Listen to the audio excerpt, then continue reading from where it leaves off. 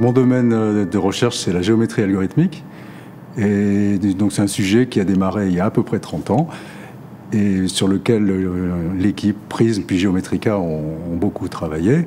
Donc les contributions, ça porte à la fois sur les aspects euh, théoriques, les structures de données, les algorithmes géométriques, et puis également sur la programmation et l'implémentation de ces techniques et le développement d'une grosse bibliothèque qui maintenant fait référence dans le domaine, qui est euh, SIGAL, Computational Geometric Algorithm Library, qui est à la fois diffusée dans beaucoup de domaines, en dehors de notre propre sujet, et également euh, commercialisée par une start-up qui a été créée euh, à Sophia Antipolis.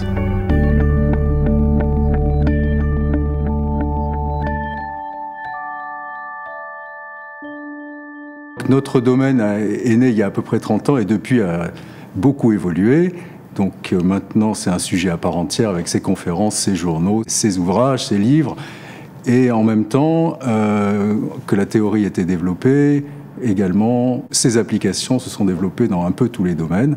La robotique, euh, le graphique, l'imagerie d'une manière générale, les, la simulation numérique.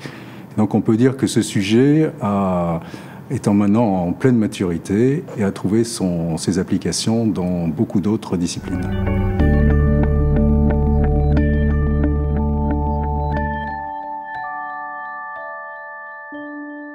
Les projets scientifiques euh, auxquels on veut s'attaquer maintenant tournent autour de, des dimensions supérieures à 3, auxquelles on s'est essentiellement euh, intéressé euh, dans le passé, pour résoudre des problèmes liés à l'analyse de données. Donc les, les, données sont partout aujourd'hui. Big data est un mot qu'on rencontre dans les journaux.